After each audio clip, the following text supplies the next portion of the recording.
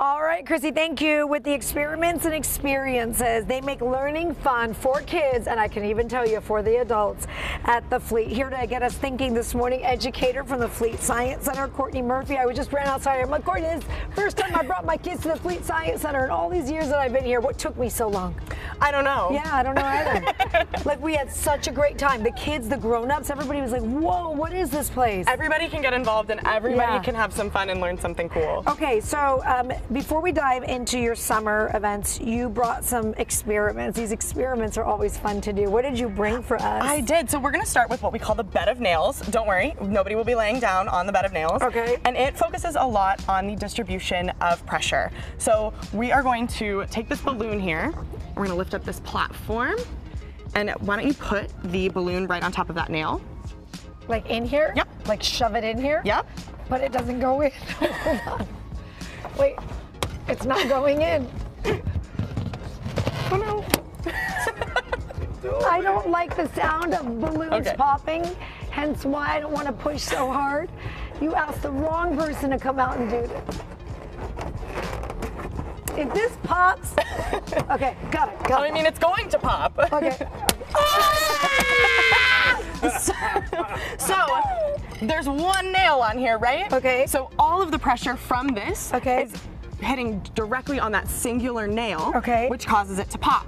But if we come over to this one right oh, that here, was that was planned. Yes. Oh, thanks for telling me. we come over to this one right Okay. here. Try from the back this time. The, they're a little further apart. There you go.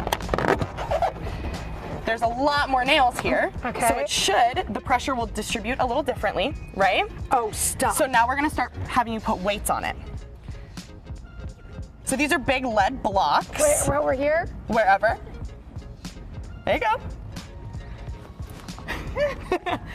I Take another one? I do not like the sound of balloons popping in my ear. Okay.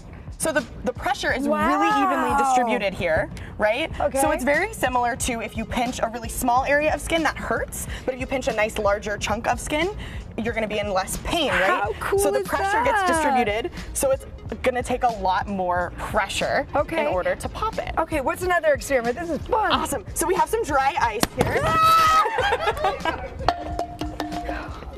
I don't want to play anymore. No more balloons, I promise. Thank you. Okay. So what I'm gonna have you do is put on these gloves for your safety. Okay. Right, that one is the other hand. Oh no, that's that one. Yeah. Just kidding. I lied. That's something I would do. so I'm gonna pour some water into here. Okay. Now, dry ice is really, really cold. It is negative 109 degrees Fahrenheit, mm-hmm. which is cold enough to burn you, which is why we're gonna have you put the gloves on. Okay. So we don't ever touch it with our bare hands. Okay. So what I'm gonna do is I'm gonna give you You sure you won't give me anything? I can just watch and be like an observer. I'm gonna give you, oh, that one's a little big, actually. Let me grab a smaller chunk. Yeah, small is better. Here, I'm gonna give you one of those, and you're, I'm gonna have you put that right inside. Okay. It doesn't fit again. Oh, there we go. Oh, there's more here. Okay. Now I'm gonna cork this nice and tight, and we're gonna watch that pressure build up from that CO2 gas. Where are you going? We can also, I'm running from the unknown. How do you not know that that thing's not going to go cool? Okay. we can also put this balloon. This one No, won't pop. we I've cannot never say seen it we pop. did. Oh, this one did pop. It ripped. Okay. But so the carbon dioxide. Well, that was great. Okay, let, you know what? You're gonna do this at the summer events. Let's Yes. just go. Let's just do it there. If people want to come and watch, tell us about the events. Right. So on August 4th, this Friday night, Okay. we have our Fleet Family Night Out, which every um, with every purchase of an adult ticket, you get a child's admission. Oh, nice. Yeah, and so that's going to be really exciting. Okay. So it's a nighttime event. Yes. Yeah, you go on a date with your kids. Yeah, exactly. Yeah, okay. And then next Friday, August 11th, we have our 21 plus event, which is our Fleet After Dark event. We're gonna have alcoholic beverages for purchase, and you get to come and